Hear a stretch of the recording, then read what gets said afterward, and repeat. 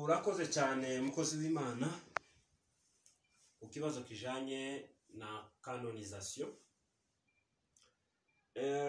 Ndabanza nsobanure icyo bita kanoni. Kugira ngo turusheho gusobanukirwa. Kanoni ni ibintu bibiri. Kanoni ni igipimo cy'ukuri. Igipimo cy'ukuri. Igipimo gi- cy'ukuri gifite ubutware gifite ubushobozi gipima kigatesita ko iki kintu cyuzuye. Nanone kandi ibi bitabo mirongo itandatu na bitandatu na byo kandi bikitwa kanoni bivuga ngo na byo bipima ukuri. Ibi bitabo byarapimwe ukuri eh, biremerwa. Byapimwe n'ukuri n'igipimo cyashyizweho eh, biboneka byemewe eh, icya kabiri na byo bimaze kuboneka byemewe biba nanone kandi na yo kanoni biba ibipima ukuri. Ni na yo mpamvu tubyizera. Nabyo bipima ukuri bipima ibyo twizera bipima ibyo dukora bipima imyitwarire yacu. Gupima bivuze kuba ari byo bigera. Ah, mesure i- imezira ibindi. Byabaye mezire na byo biramezira. Kanoni ni igipimo gipima ukuri gasoya kandi kanoni kaba ibitabo mirongo itandatu na bitandatu byemewe nk'ukuri bipima nk'ukuri kandi bigenderwaho. Ikibazo kikaba kibaza ngo se ah, kubera iki aba bantu bapimye eh, eh, kanoni habayeho kanonizasiyo bari bafite ubuhe butware eh, bagendeye kuki amateka atubwira ko ntabwo ari imana yavuze ati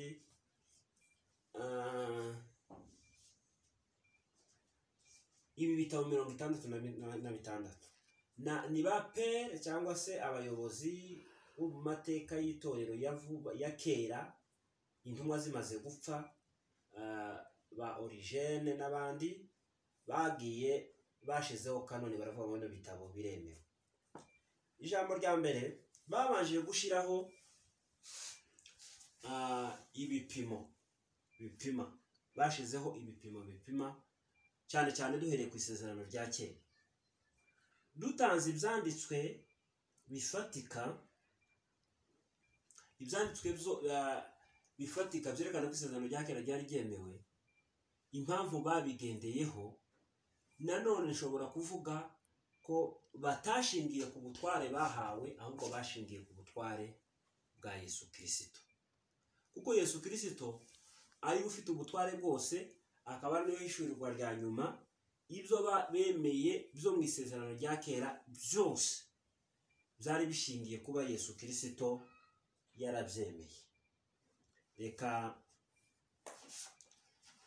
reka turebe bimwe mu byanditswe bigaragaza ukuntu yesu yemeye isezerano rya kera byose. Ah, matayo igice cya gatanu matayo igice cya gatanu umurongo wa cumi na karindwi n'uwa cumi n'umunani. Bibiliya iravuga ngo mwitekereza ko naje gukuraho amategeko cyangwa ibyahanuwe. Amategeko n'ibyahanuwe yari diviziyo cyangwa niko bagaburaga isezerano rya kera ryose. Sinaje kubikuraho ahubwo naje kubikomeza. Rero aba nubwo ah, tutabona aho byanditse ngo babiherewe ububasha ariko bafite icyo bashingiyeho bashingiye ku byo yesu yemeje mu isezerano rya kera.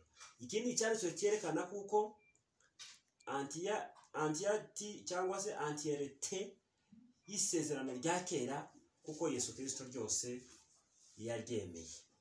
Uko ringana. Ndetse n'amateka arimo yesu kirisito yarayemeye. Reka turebe ibyanditswe bimwe nka matayo icumi umurongo wa cumi na gatanu. Amateka y'ukuri amwe dusoma mu isano rya kera yesu yagiye ayemeza. Ah, icumi umurongo wa cumi na gatanu. Bibiliya iravuga ngo ndababwira ukuri yuko ku munsi w'amateka eh, igihugu cy'i sodomu n'i gomora kizahanwa igihano cyakwihanganirwa kuruta icy'uwo mudugudu. Urumva aya ni amateka yabayeho y'i sodomu n'i gomora. Yesu arimo arayemeza kandi yanditse hehe mu itangiriro. Ah, icumi n'icyenda umurongo wa gatatu kugeza ku wa gatanu. Icumi n'icyenda umurongo wa gatatu kugeza ku wa gatanu. Abafarisayo baza aho ari baramugerageza baramubaza bati mbese amategeko yemera ko umuntu asenda umugore we Ah, amuhora ikintu cyo- ikintu cyose nawe arabasubiza ati ntiwari mwasoma yuko yabaremye mbere yaremye umugore yaremye umugabo n'umugore? Ndababwira iki ni cyo gituma umuntu azasiga se na nyina akabana n'umugore we akaramata bombi bakaba umubiri umwe. Urabona izi ni inkuru zanditse mu isezerano rya kera zanditse mu- mu itangiriro. Ariko yesu arimo arazivivura akerekana kuko ari ukuri cumi na kabiri mirongo ine ah, muri matayo. Eh, bibiliya iravuga ngo kuko nk'uko yona yamaze iminsi itatu n'amajoro atatu mu nda y'urufi niko umwana w'umuntu azamara iminsi itatu n'amajoro atatu ikuzimu.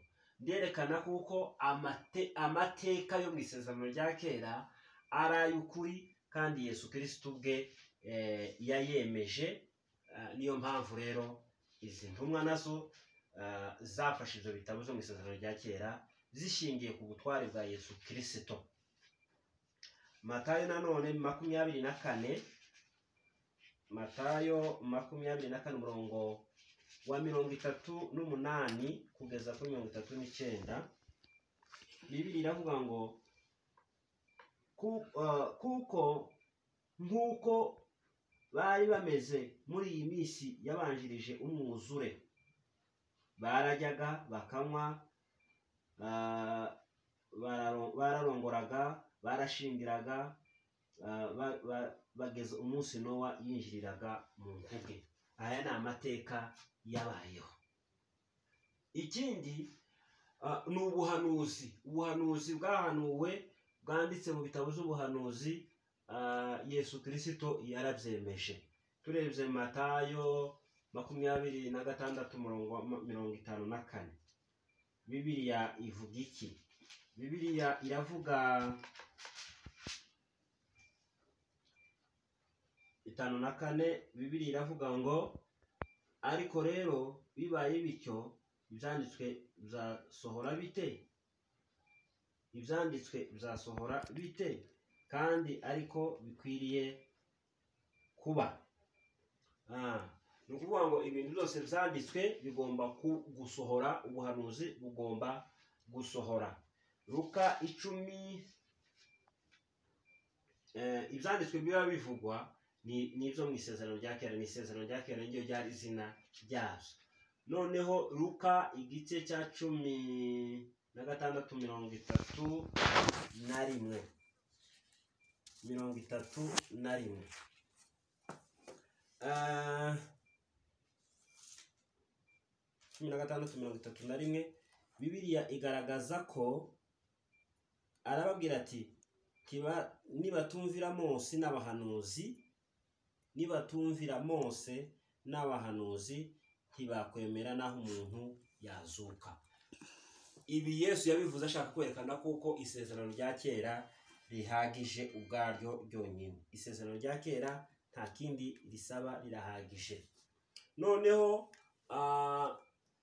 muri luka igice cya makumyabiri na kane umurongo wa makumyabiri na karindwi na mirongo ine na kane iyo mirongo yombi igaragaza kuko isezerano ryose rya kera ari rimwe kandi ryahurizaga kuri yesu kirisito yohana igice cya cumi umurongo wa mirongo itatu na gatandatu yavuze ko ibyanditswe bitavuguruzwa bita- bita- bidacirwamo Ah, noneho matayo ma- makumyabiri na rimwe umurongo wa cumi na gatatu n'umurongo wa cumi na gatandatu na mirongo ine na kabiri iyo mirongo uko ari itatu yose yerekana kuko ibyanditswe byo mu isezerano rya kera byose byari bifite ububasha.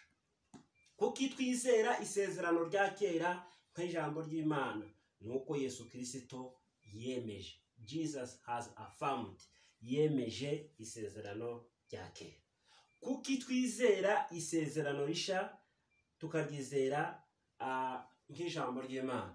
Ni uko umwami yesu ari we wahaye abigishwa intumwa zo kwandika isezerano rishya abaha n'ubutware ni we yabwiye ngo umwuka wera azabahishurira bongere kuri reverasiyo yari ihari kandi muri bibiliya nyine